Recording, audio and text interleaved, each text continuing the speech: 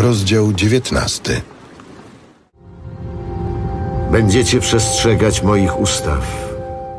Witam serdecznie na kanale Zakochany w Biblii, gdzie wspólnie czytamy Biblię ze zrozumieniem. Ustawy, wyroki i prawa. Takie trzy kategorie przekazań możemy znaleźć w prawie mojżeszowym. Częstsze są wyroki. Z ustawami bożymi mieliśmy do czynienia dopiero przy pierwszej nocy wyjścia z Egiptu, kiedy został skodyfikowany obrzęd Paschy. Ustawą jest, żeby Pascha była co roku upamiętniana po wsze czasy. Słowo hukot ustawy pochodzi od czasownika hakak, znaczącego wyryć, kiedy się wyrywa napis na kamieniu. Hukot to ustawy bezsprzeczne, których należy przestrzegać bez potrzeby ich uzasadnienia lub nawet rozumienia. W grę wchodzi cnota czystego posłuszeństwa jako wyraz zaufania do prawodawcy. Adam i Ewa otrzymali jedną ustawę przekraczającą ich rozum. Z drzewa poznania dobra i zła nie wolno wam jeść. Zapominając o miłości i zaufaniu do Boga, Ewa wybrała dialog z wężem, który wsączył jej szatańskie słowo trucizna. Dlaczego? Dlaczego otrzymaliście taką ustawę, a nie inną? Jakie ma uzasadnienie? Spróbujcie złamać tę ustawę, może nie jest dla Was korzystna. Te wydawałoby się dalekie rozważania mają zastosowanie w naszym codziennym życiu.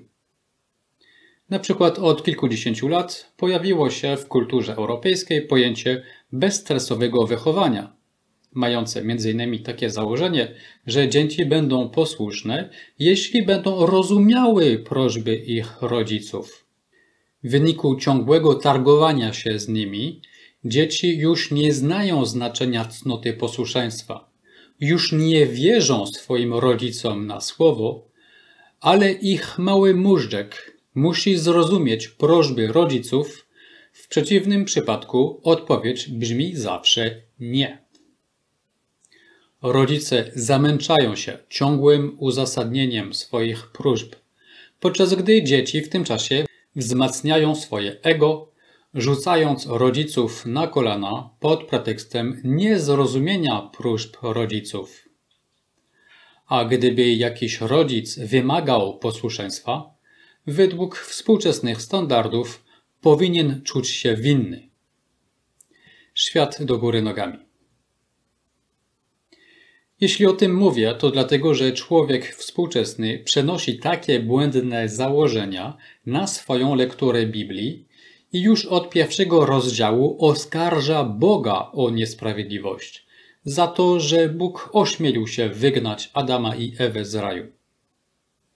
Takie oskarżenie dotyka egzystencjalnego zagadnienia. Stawia pytanie, kim jest Bóg i kim jest człowiek, jaka jest wola Boża i jaka jest wola ludzka.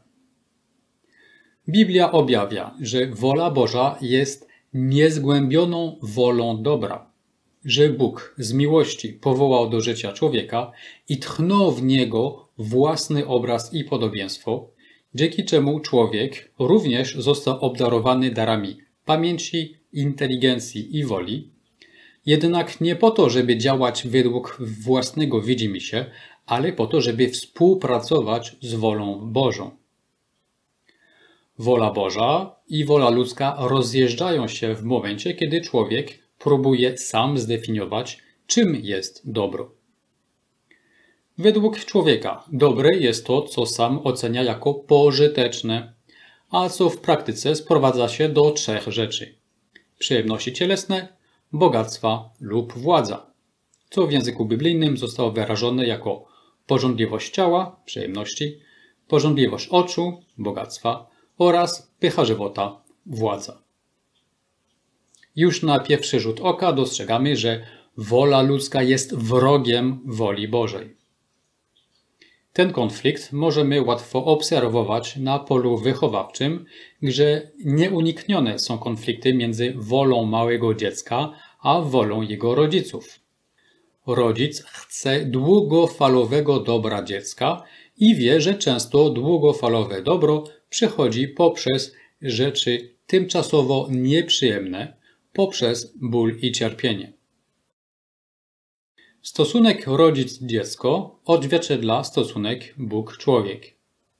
Człowiek jest krótkowzroczny i przychyla się ku temu, co w krótkim czasie ma przynieść mu korzyści, co nie zawsze pokrywa się z jego dobrem długofalowym. Bóg patrzy całościowo, będąc ukierunkowany na celu, nie wzdryga się przed cierpieniem, które ma do niego prowadzić.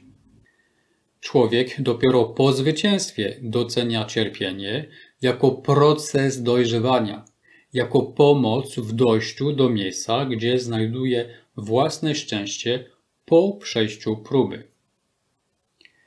Rzecz w tym, że wola ludzka z automatu odrzuca cierpienie, a cierpienie odrzucone boli tym bardziej, im bardziej człowiek próbuje od niego uciekać. Aby osiągnąć sukces i cieszyć się zwycięstwem, człowiek musi przejść przez próby. Próby u każdego człowieka mogą przebierać różne formy, ale mają wspólny mianownik, że w pewnym momencie każdy człowiek musi poddać własną wolę i uznać dobroć woli Bożej. Musi wreszcie zaufać Bogu i pozwolić mu na prowadzenie go drogą, która przekracza jego krótkowzroczne pragnienia. Próba człowieka polega więc na przyjęciu woli Bożej jako własnej, na zaakceptowaniu woli nieskończonego dobra, nawet wbrew własnemu krótkowzrocznemu rozumieniu. Jedną z form takiego wyrzeczenia dokonuje się konkretnie poprzez przyjęcie Bożych hukot, Bożych ustaw, przekraczających ludzki rozum. W odpowiedzi na szatańskie pytanie dlaczego, jedynym uzasadnieniem dla przyjęcia hukot jest fakt trwania w przymierzu z Bogiem.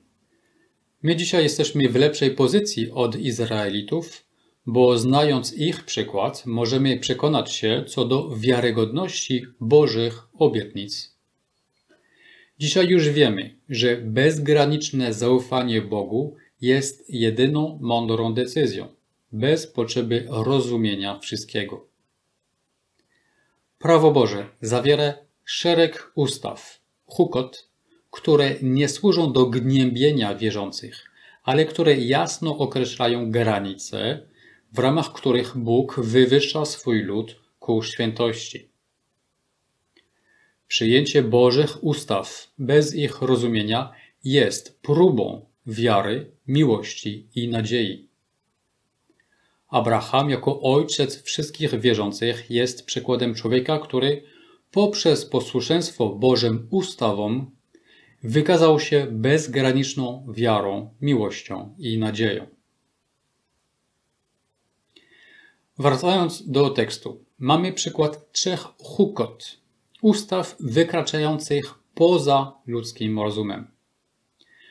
Dotyczą zakazów wymieszania. Będziecie przestrzegać moich ustaw. Nie będziesz łączył dwóch gatunków bydła. Nie będziesz obsiewał pola dwoma rodzajami ziarna. Nie będziesz nosił ubrania utkanego z dwóch rodzajów nici. Świętość jest oddzielnością, wymaga pracy nad zachowaniem własnej tożsamości i rozróżnienia, a więc zwalcza wszelkie wymieszanie, zakłada nieprzerwaną czujność nad oddzielnością we wszystkich wymiarach życia społecznego, zwierzęcego, roślinnego lub nawet rzemieślniczego. Hukot mają wartość wychowawczą i estetyczną. Aby móc zachować własną odrębność w obliczu Boga, trzeba się jej nauczyć w przyziemnych wymiarach życia codziennego. Trzeba nauczyć się odróżniać święte od nieświętego i zachować się od pokusy wymieszania. Jest to rodzaj dyscypliny, zaproszenia do czujności. Im bardziej będę biegły w rozróżnianiu spraw codziennych, tym łatwiej będzie mi rozróżniać drogi wznoszącej się ku Bogu, ku życiu, wolności i świętości.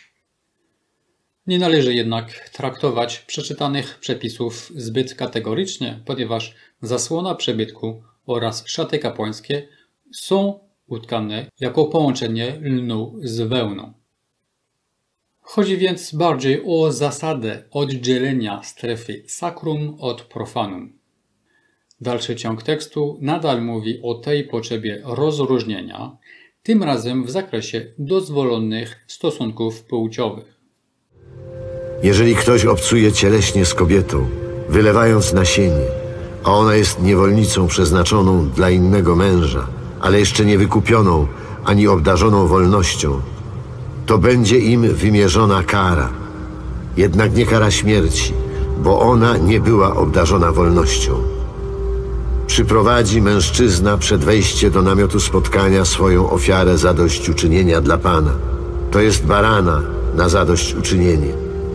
Kapłan dokona za niego przebłagania przed Panem, ofiarując barana na zadośćuczynienie za grzech, który on popełnił. I będzie mu odpuszczony grzech, który popełnił. Nierząd z niewolnicą jest mniej poważny od cudzołóstwa, ponieważ nie zaburza całego porządku społecznego, pokoleniowego i majątkowego. Taki czyn nie jest karany śmiercią, choć jest winą, za którą należy złożyć ofiarę zadośćuczynienia oraz, według tradycji, poślubienie niewolnicy. Takie praktyki były dozwolone w starożytnym prawodawstwie. W Izraelu są grzechem przeciwko potrzebie rozróżnienia między świętym a nieświętym. Kolejne ustawy dotyczą zachowania świętości, tym razem w dziedzinie upraw roślinnych. Kiedy wejdziecie do kraju i zasadzicie drzewa owocowe wszelkiego gatunku, będziecie uważać ich owoce za nieobrzezane. Trzy lata pozostaną one nieobrzezane. Nie będziecie ich jeść. W czwartym roku wszystkie ich owoce będą poświęcone jako dar uwielbienia dla Pana. W piątym roku będziecie spożywać ich owoce, aby pomnożył się wasz dochód z nich. Ja jestem Pan, Bóg wasz. W ostatnim wersecie zostało podane uzasadnienie tych przepisów. Chodzi o zwiększenie plonów. Ale wszystko jest czynione w duchu świętości, rozróżnienia. Przez trzy pierwsze lata drzewo owocowe jest jakby nieobrzezane, a więc pogańskie. Dopiero ofiarowanie Bogu całego zbioru czwartego roku w sposób symboliczny włącza dane drzewo w akcie liturgicznym podniesienia całego stworzenia ku Bogu. Sama czynność jedzenia z takiego drzewa również jest aktem podniesienia, sublimacji materii niższego rzędu do wyższego rzędu, podobnie jak to czyni ogień pożerający ołtarza. Jak widzimy, świętość wyraża się we wszystkich aspektach życia codziennego. Człowiek wierzący powinien we wszystkim wyróżnić się od pogan. Nie może on mieszać się z innymi narodami poprzez małżeństwa, musi uszanować porządek dzieła stworzenia, nie wolno mu poddawać gatunki zwierząt i roślin zmianom genetycznym. Następny akapit mówi o praktykach pogańskich, których należy się wystrzegać. W starożytności poganie zabijali zwierzęta i prorokowali na podstawie wyglądu wnętrzności, później jedli mięso nad ich krwią, stąd podniższe zakazy. Nie będziecie jeść niczego z krwią, nie będziecie uprawiać wróżbiarstwa, nie będziecie uprawiać czarów, Kolejne przepisy również mają na celu odróżnianie się od pogan. Ortodoksyjni Żydzi traktują je dosłownie, nie golą brody i noszą pejsy na podstawie podniższego wersetu.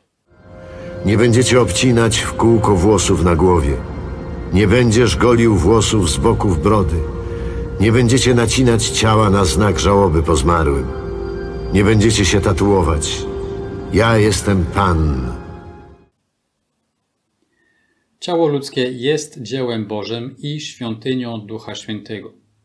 Powinno być traktowane z szacunkiem i ze czcią, stąd odejście od pogańskiej praktyki tatuaży, którą można skojarzyć z samookaleczeniem, tak samo jak nacinanie znaków na ciele. Tatuaże w starożytności oznaczały przynależność do jakiegoś bóstwa, którego imię wypisywano w sposób trwały na skórze, co sprzeciwia się świętości ludzkiego ciała. Zamiast tego wierzący mogą nosić znaki przynależności do Boga, Żydzi noszą filakterię oraz tefilin, chrześcijanie noszą szkaplerze, medaliki lub krzyżyki. Kolejne zakazy dotyczą pogańskiej praktyki wysyłania dzieci do uprawiania tzw. Tak nierządu sakralnego lub inicjalizacji seksualnej. Nie wydawaj swej córki na hańbę, czyniąc ją nierządnicą, aby kraj nie uległ nierządowi i nie był pełen rozpusty. Będziecie zachowywać moje szabaty i szanować mój święty przybytek. Ja jestem Pan. Ciekawe jest lekarstwo przeciwko prostytucji. Rozwiązaniem jest zachowanie szabatu. Szabat jest, jak widać, wyznacznikiem trwania w przemierzu z Bogiem. Jest kręgosłupem podtrzymującym całe życie duchowe. Kto idzie w szabat do świątyni pańskiej, żyje Bożymi ustawami i w żaden sposób nie odczuwa potrzeby wróżbiarstwa, czarów lub prostytucji. Dzisiaj możemy zaobserwować zjawisko przeciwne. Społeczeństwa niegdyś chrześcijańskie odeszły od zachowania Dnia Pańskiego i masowo zwracają się ku wróżkom i prostytucji. Na przykład we Włoszech jest więcej zawodowych wróżbitów niż księży, a w Niemczech liczba klientów domów publicznych prawdopodobnie wynosi kilka milionów co tydzień, co przekracza liczbę osób chodzących na jakiekolwiek nabożeństwa. Ideą świętości nie jest unikanie złych praktyk, ale ciągłe trwanie w ruchu podniesienia ku Bogu, co wyraża się najpierw od zachowania Dnia Pańskiego. Ostatni zbiór przepisów nawiązuje do poprzedniego, ale tym razem dotyczy miłości Boga i bliźniego. Bojaźń pańska wyraża się poprzez wstrzymanie się od wywołania duchów zmarłych. Zamiast tego młodzi powinni szukać mądrości u żywych mędrców, którzy pod pozorem słabości fizycznej są jednak ucieleśnieniem mądrości prawa życia. Do nich należy się zwrócić w celu rozeznania woli Bożej, zamiast zwracania się do wszelkiej maści wróżbitów. Nie będziecie się zwracać do wywołujących duchy ani do wróżbitów. Nie będziecie zasięgać ich rady, aby nie splugawić się przez nich. Ja jestem Pan, Bóg wasz.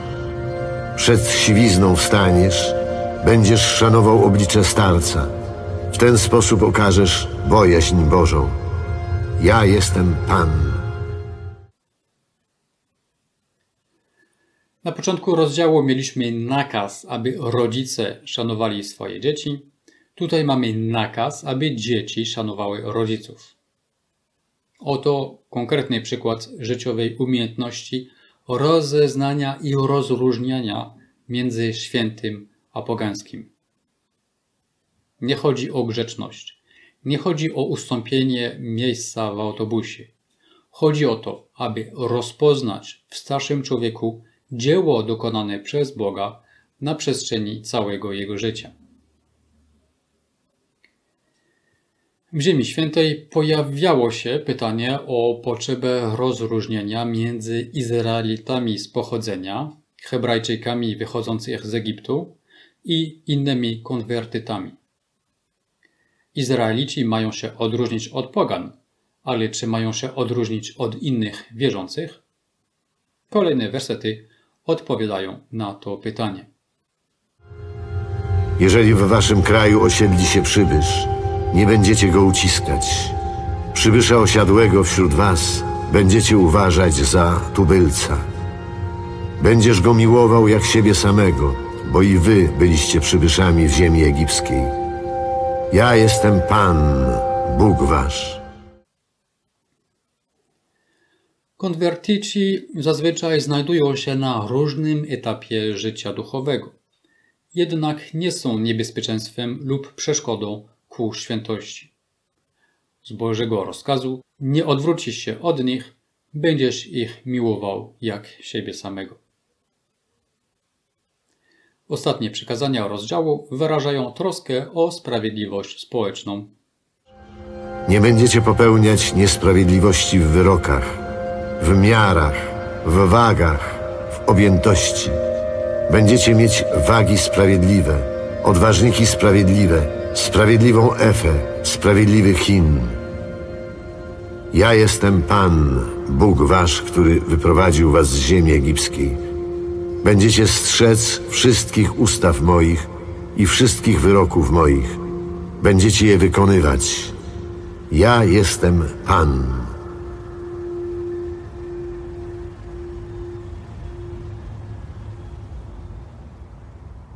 Izraelita powinien kochać bliźniego tak, jak Bóg kocha bliźniego, ponieważ Bóg uwolnił z Egiptu również Hebrajczyków i innych przybyszów.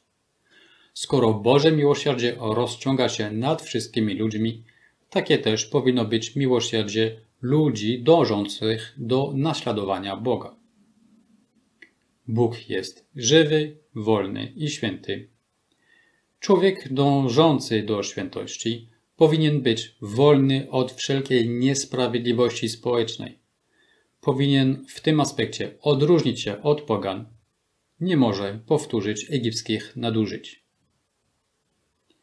W podtekście Izraelici mają też zrozumieć, że gdyby sami stali się podobni do egipskich wyzyskiwaczy, na nich padną ciosy Bożej Sprawiedliwości, jak padły nad Egiptem, co właśnie będzie tematem następnego rozdziału.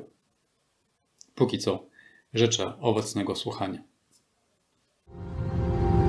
Będziecie przestrzegać moich ustaw. Nie będziesz łączył dwóch gatunków bydła. Nie będziesz obsiewał pola dwoma rodzajami ziarna. Nie będziesz nosił ubrania utkanego z dwóch rodzajów nici. Jeżeli ktoś obcuje cieleśnie z kobietą, wylewając nasienie, a ona jest niewolnicą przeznaczoną dla innego męża, ale jeszcze nie wykupioną ani obdarzoną wolnością, to będzie im wymierzona kara. Jednak nie kara śmierci, bo ona nie była obdarzona wolnością. Przyprowadzi mężczyzna przed wejście do namiotu spotkania swoją ofiarę zadośćuczynienia dla Pana. To jest barana na zadośćuczynienie.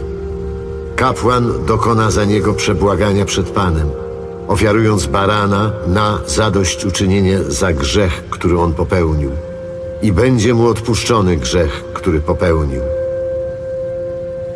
Kiedy wejdziecie do kraju i zasadzicie drzewa owocowe wszelkiego gatunku, będziecie uważać ich owoce za nieobrzezane. Trzy lata pozostaną one nieobrzezane. Nie będziecie ich jeść.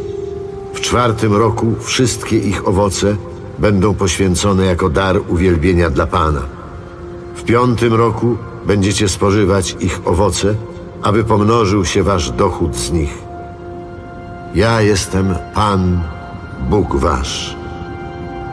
Nie będziecie jeść niczego z krwią, nie będziecie uprawiać wróżbiarstwa, nie będziecie uprawiać czarów, nie będziecie obcinać w kółko włosów na głowie, nie będziesz golił włosów z boków brody, nie będziecie nacinać ciała na znak żałoby po zmarłym.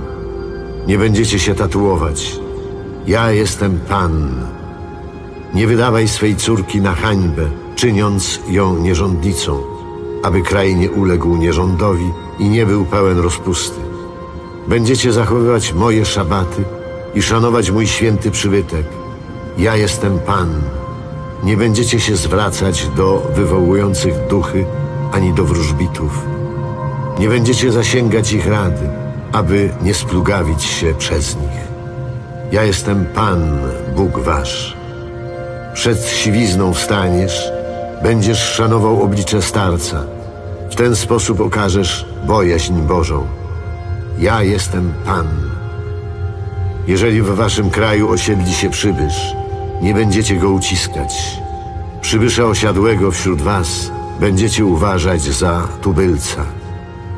Będziesz go miłował jak siebie samego, bo i wy byliście przybyszami w ziemi egipskiej. Ja jestem Pan, Bóg wasz. Nie będziecie popełniać niesprawiedliwości w wyrokach, w miarach, w wagach, w objętości. Będziecie mieć wagi sprawiedliwe, odważniki sprawiedliwe, sprawiedliwą Efę, sprawiedliwy Chin. Ja jestem Pan, Bóg wasz, który wyprowadził was z ziemi egipskiej. Będziecie strzec wszystkich ustaw moich i wszystkich wyroków moich. Będziecie je wykonywać. Ja jestem Pan.